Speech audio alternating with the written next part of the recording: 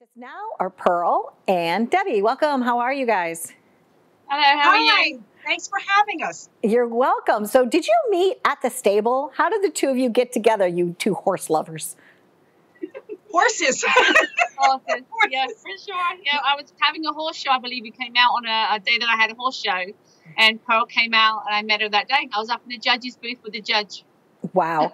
Now, Pearl, you wanted me to meet your friend Debbie. Tell me a little bit about her and why you decided to celebrate her on the show today. oh my goodness. Uh, what is there not to tell?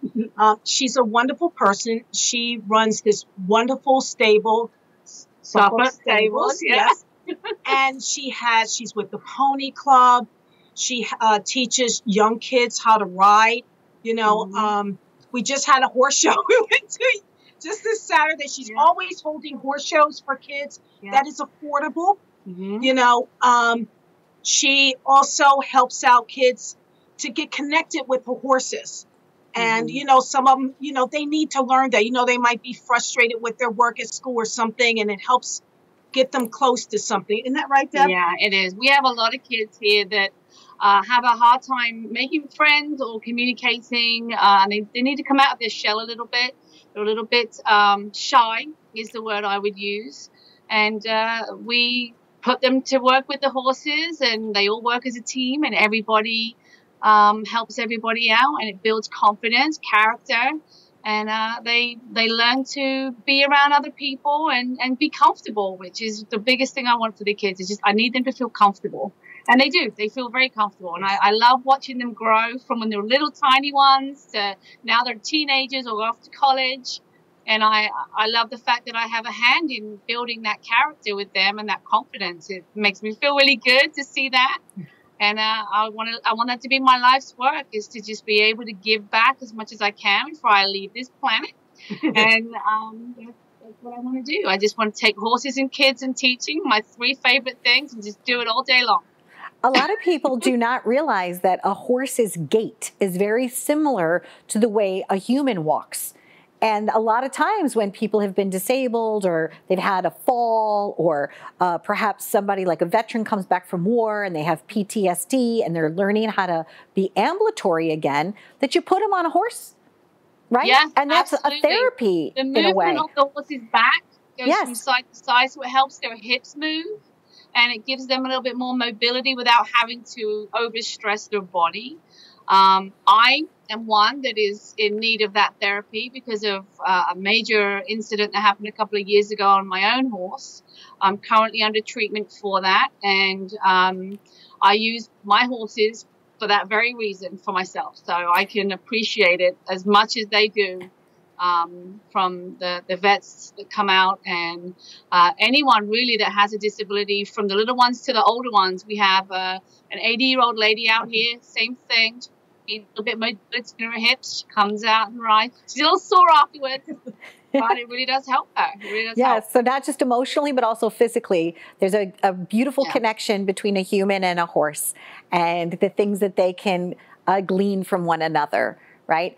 And to both of you, uh, Pearl, I know that you've had a great background too. Who's the first person that put you on the back of a horse? that was my father we had the horses on the beach in atlantic city and um, i was one of those children that you know i loved animals and everything and it's just tradition as a native so i was on a horse before i could walk and then he's like uh-oh because i wouldn't get off and that started the whole thing It's it's beautiful, and we've been good friends, uh, Pearl Running Deer, for such a long time, and I truly appreciate you. When I came down to visit you in Atlantic City, you were so gracious. You introduced me to everybody, all the dignitaries, and the mayor, and uh, the Miss America, and you know, it was it was fabulous. And Debbie, I truly do look forward to meeting you. I'm supposed to be in Atlantic City on the 21st, actually, so Love maybe we you, could yes. uh, break bread when we're all together. Uh, but Absolutely. continued success to you and. Thank Pearl, I told you I wanted to do stories about horses and people, and here you are, right? Uh, I thank you Right. for your your long term friendship with me, and wish you guys continued success. Thank, you. I, I really appreciate your friendship as well. And I can honestly tell you if you're coming, I can let Deborah know and I can pick you up and just drive you right out here. and you can get up on a horse. And we're here. Pearl and Debbie, they invited me here, and here we are. We're at Suffolk Stables. That's Yeah. right. And I might even get to get on a horse, so stay tuned.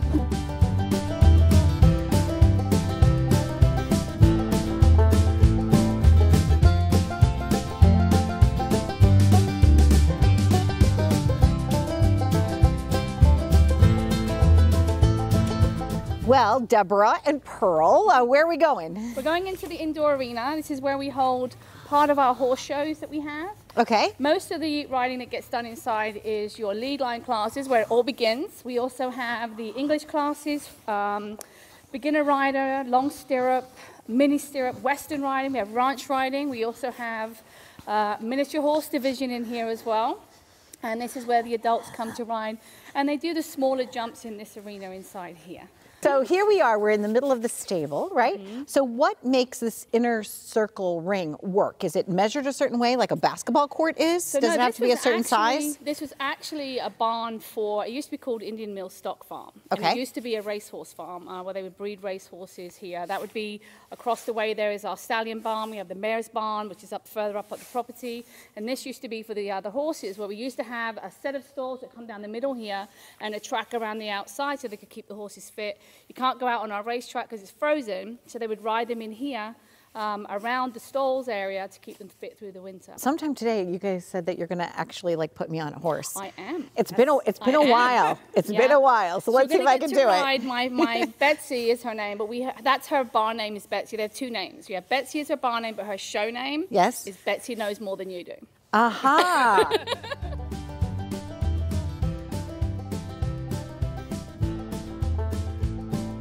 and you know, I, I was joking, but it, in a way, it is very similar to miniature golf.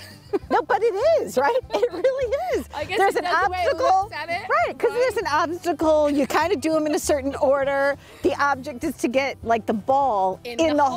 hole, and the same thing is the object is to get the horse over the challenge. Yes. very similar. And I always say And you get girls- points too. Yep, So it's like it's miniature golf. yep. You have to keep the track because she's cracking me up. This is great.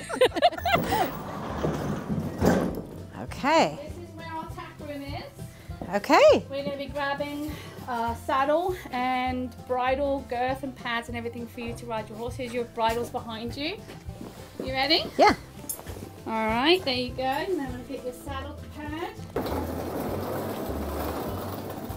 So this was your first. She was your first horse, She was right? not my first horse, but she was the first horse I bought um, when I started Suffolk Stables. nice. And when I first got her, she wasn't very well trained, or she was running away with everybody that got on her. But now she's, everybody wants to ride this one. She's so good. So I'm going to bring her out. I'm going to put her right here on the cross ties. You need four main things. Okay. So you're going to need, the, first you're going to need the hoof pick.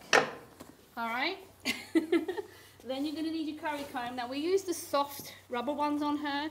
She's a little bit tender with it when it comes to um, being brushed very hard. So we use the rubber ones because she's sensitive. Um, and then we have your hard brush, which is not really hard, but there's your hard brush. And then you have your soft brush. So all four of these tools are what you're going to Okay. use to work with Betsy to get her cleaned up. Every time you groom, it's a head to toe experience. This is you checking the horse over to make sure that there's no cuts, uh, no injuries, no anything wrong with her. Maybe she lost a shoe, so we always start with the feet. So you ready to pick some feet? I'm ready to pick some feet. Reach down there, pick up that. Here, this way. There Okay. you go.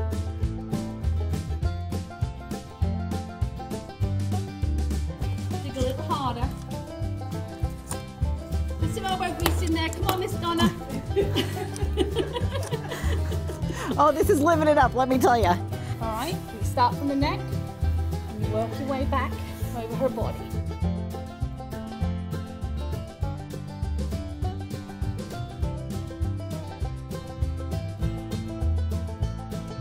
Just flick it, flick it. Let it go. Elbow grease, elbow grease. All right, so we're going to start with tacking up. This is called a saddle pad. And the saddle pad goes on the horse first. You just lay it over what's called the withers, which is the shoulder blade. Okay. Just pull it up a little, and then you swing it back a bit so it keeps the hair flat. So this is your saddle. Okay. What you're going to do is place it on. You kind of slide it back into place. This is her bridle. So what we're going to do, we're going to slide that over the over her head. This? Yeah. She won't mind. She's a good girl. Well done. And Would you like to come with me, right. Betsy? Yeah. Thank you.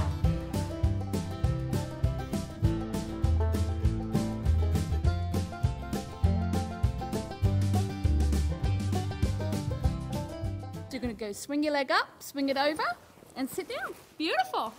You've done this before. You ready to go? Yes, I'm ready. right, Okay. go this direction. And thank you, Pearl. Woo! Thank you, Betsy. Thank you, Deborah. Okay.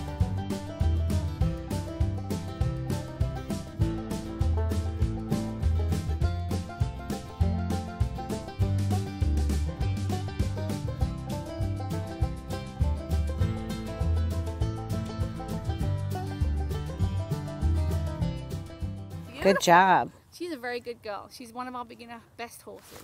This is amazing.